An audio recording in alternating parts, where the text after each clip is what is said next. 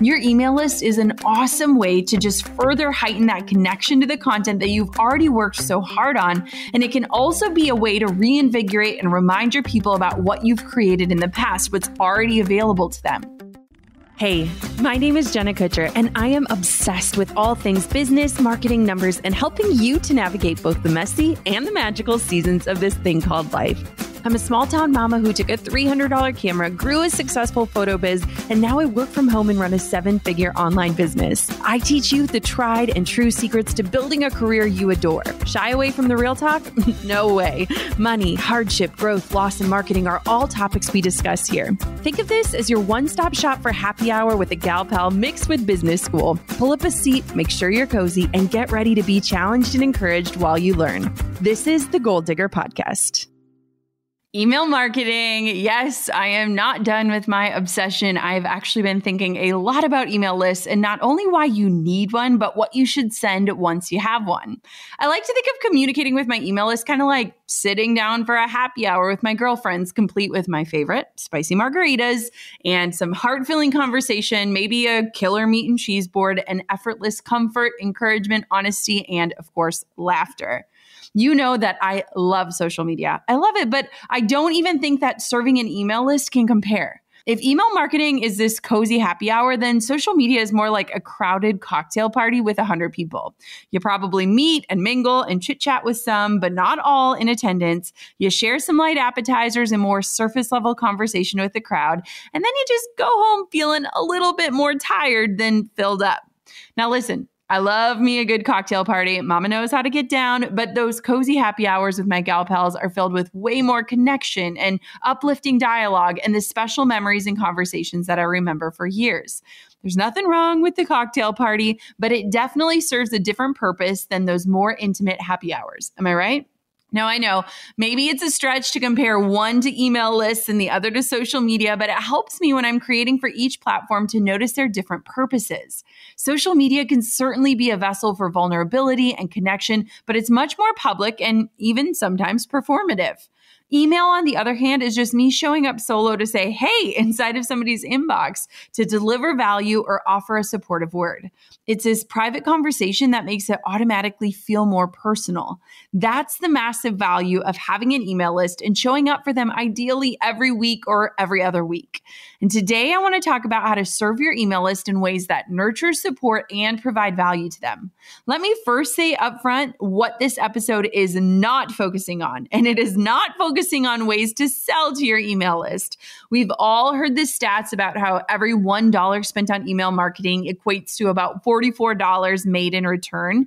And we know that email marketing is the way to sell and see big profits. And I have tons of content that covers how to do that well.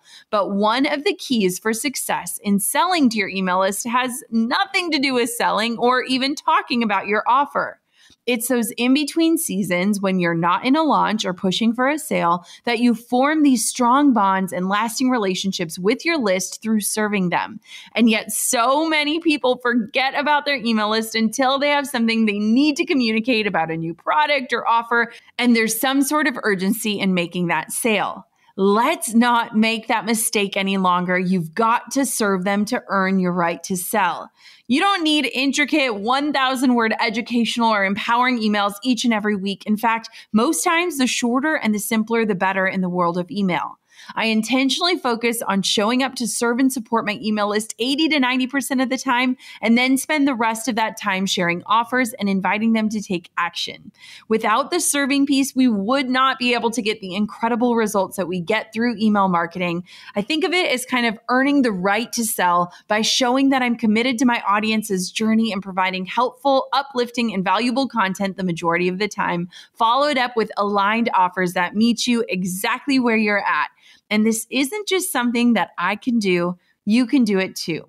Let's get into the five main formats for serving your email list and being a valued resource in their inbox, not just another salesperson. Here we go. We are jumping in. Ready to start or grow your email list with a female founded email service provider doing email marketing right? Start a free 30 day trial plus get 50% off your monthly subscription at jennakutcher.com slash flodesk. That's jennakutcher.com slash F L O D E S K. If you want to get more dream customers on your website and into your funnels, you'll want to dive into the new book from my dear friend Russell Brunson ASAP. Get a free copy of his book, Just Cover the Shipping, at jktrafficsecrets.com. That's jktrafficsecrets.com. Number one, resource roundups. Maybe you have something that you're obsessed with, items you can't live without, creators you love to follow and learn from, podcasts you can't stop listening to, blogs you keep on reading. A resource roundup is a great excuse to hit your email list with links to all the things that you love. In 2020, especially, resource roundups have been a major way to show up for your people because it seems like this year, more than any other before, we're learning and starting to understand on a deeper level that we just don't know what we don't know. Rounding up content, links, or items allows you the opportunity to invite in other voices and resources outside of your own to point to other people in your community who are experts in topics that you're simply not an expert in. Sharing the spotlight in this way can fill holes in your content that you're just simply unable to speak to. Different experiences, walks of life, educational information, and helpful answers that you just don't have. It all points your subscribers to voices that can authentically cover what you can't and helps them further their learning and growth and by answering questions they might be having without you having to step in as an educator. Now, as an educator myself, this has been such a valuable lesson in this season to step back, get quiet, and listen and learn alongside my audience while other experts step in to teach. A good way to choose whose work to share is to ask yourself what you want and need to be learning about right now. What resources are you personally investigating and digging into? It's likely that your people would be interested in that same sort of content matter. You can share how and why you're digging into the materials and then just point to the resources and let them do the talking and the teaching. Now, number two is my favorite encouragement. I don't know if anyone else is subscribed to Letters from the Universe. I have been for years. I am. And I swear that those words hit me right when I need them the most. They're literally just these daily emails that are just a few sentences each and every day of straight truth, encouragement, and honesty. And I don't know how, but they always feel timely and like this breath of fresh air.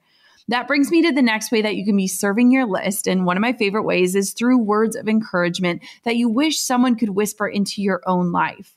Spread that same message of encouragement to your email list because the truth is that life can be really, really heavy and hard. We're often so stuck in our own little worlds, hustling to make things happen, pushing ourselves to do more and be better and faster and do bigger things. And quite honestly, even though we have cherished relationships in our lives, so many of us don't hear simple words of encouragement often enough. Things like, hey, you're doing a good job or you are worthy of your successes and you are more than your mess ups. A failure doesn't mean your path is finished or you deserve rest. You are not defined by how you look, how much money you make, or what you achieve. Taking care of you, it's a non negotiable. What do you need today to feel more joy? What can you let go of to feel more peace? How can you prioritize your mental health this week? Who can you call to catch up with? There are so many small yet significant reminders that we as humans crave and need spoken into our lives. And let's be real, seeing a quote on Instagram or Pinterest, it can give us warm fuzzies, but hearing it from someone we admire and look up to can be so much more powerful and life giving partner encouragement with a personal story, and it will not only encourage anyone who opens your email, but it will also help create connection and invite engagement through your honesty and your openness. My encouragement emails do so well, and I think it's because I think about what I'm personally going through in real time, what I wish someone was saying to me, and how I can communicate that in an email form. It's this authentic connection of giving people this warm hug and comforting word, but via a digital message in their inbox. Convey what's on your heart in the most honest way possible, and you'll speak life and truth into your audience's lives. Number three is content roundups. Now, if you're in a creation slump, or maybe the opposite, you're hitting publish quicker than you can promote, another fantastic and actually pretty easy way to show up serving your email list is through content roundups that revive your old content. Point to things that you've already created that are still relevant in the current times or are otherwise helpful to your audience in this season. Hopefully, you're in the practice of creating evergreen content on your blog or social media. That means content that can live on for months or even years and doesn't speak to certain timelines, dates, or seasons. If you consistently blog about certain topics, you can even pull a handful of resources covering that same topic and list them in an email so people can pick and choose what they need or want to learn about. Think of it as sort of sending out a directory that takes that search factor away from your followers and quickly connects them to what they need. Redirecting to your past resources gets your subscribers in the know and it positions you further as this expert in your field. So many times people don't see our social posts or they might be new to your brand. And even though you might feel like you've already shared something a bunch already, it's likely always getting in front of new eyes each and every time you reshare it. Your email list is an awesome way to just further heighten that connection to the content that you've already worked so hard on. And it can also be a way to reinvigorate and remind your people about what you've created in the past, what's already available to them. I used to send out a weekly visual email every single week. And truthfully, I should probably get back into that practice where I'd round up everything that we published for the week from the podcast to the blog to social media. And it just gave people a chance to dive into what they might have missed.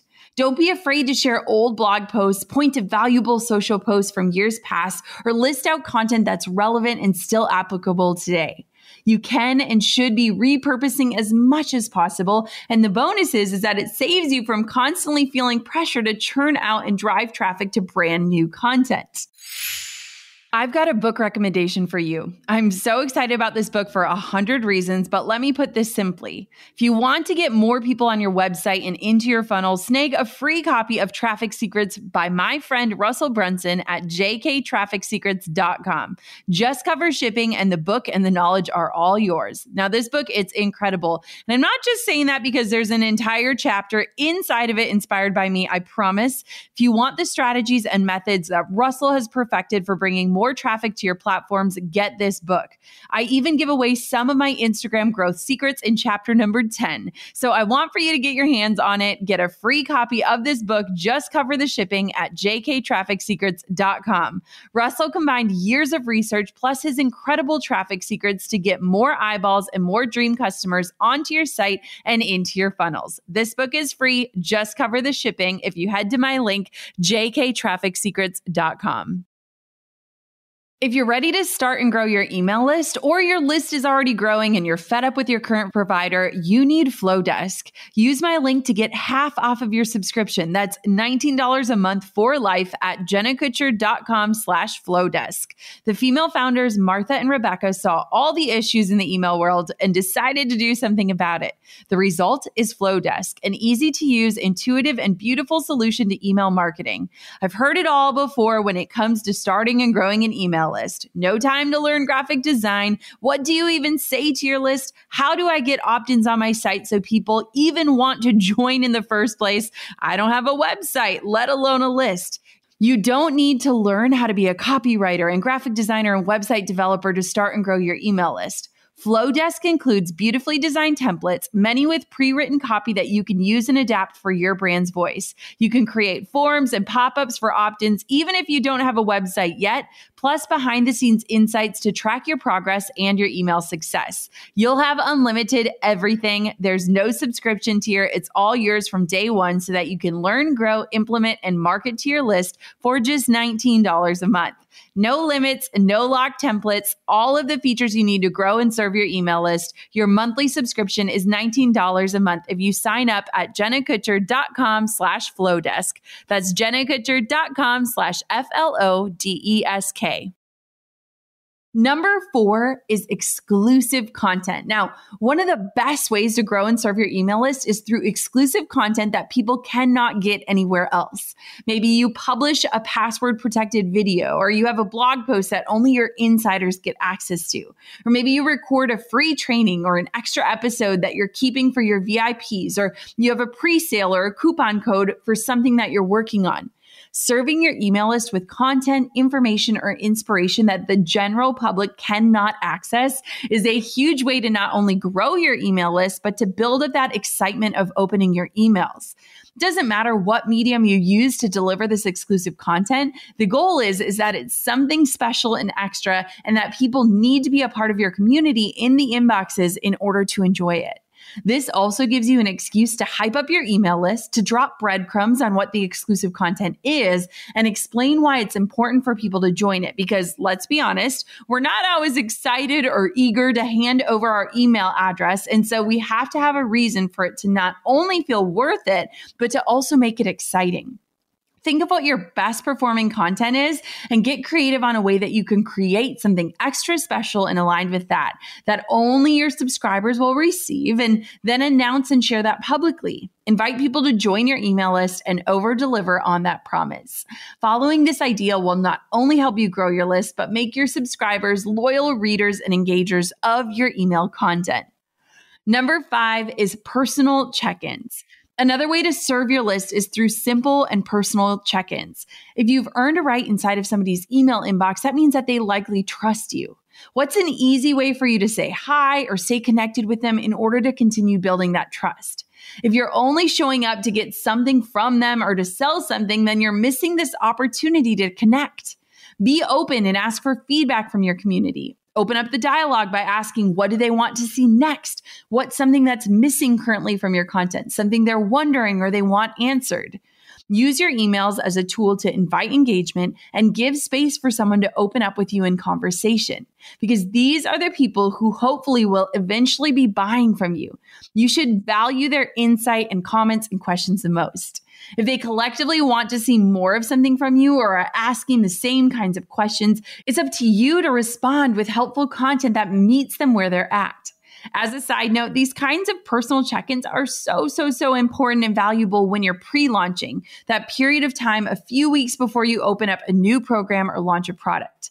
By asking questions and letting people know that they can simply hit reply or requesting feedback, you can start to get people excited about what's coming up, as well as educate them, open their minds, and pivot your plans to ensure that you are serving them exactly where they are at and are creating with your valued subscribers in mind. Send out a survey, ask a question, let them know that you will respond back, give them a place to leave feedback or suggestions, and allow their responses to guide your creation process. That time will come whenever you're openly announcing that you've created something or what's available for them to invest in, but use these check ins as more of a way to gauge interest, garner excitement, and drop breadcrumbs and hints of what they can expect from you in the weeks or months to come.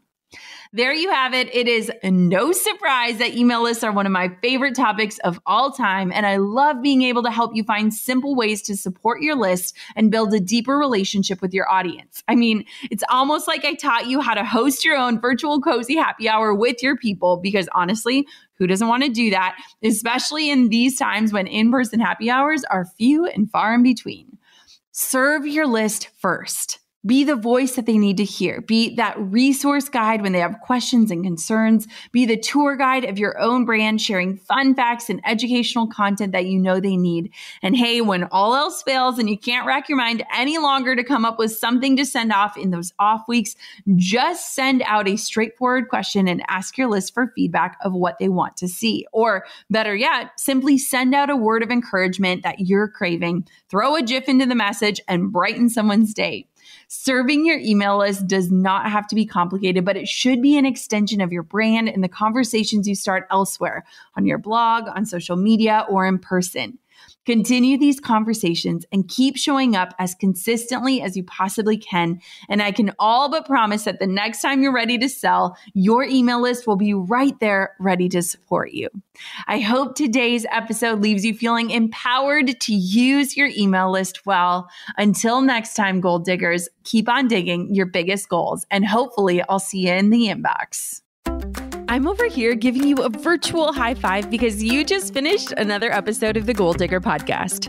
Did that go by way too fast for anyone else? If you want more, head over to goaldiggerpodcast.com for show notes and all the discount codes from today's sponsors. And if you're looking for a new crew of movers and shakers like you to bounce ideas and ask questions, be sure to join my exclusive community for goal diggers on Facebook. The link's waiting for you at goaldiggerpodcast.com.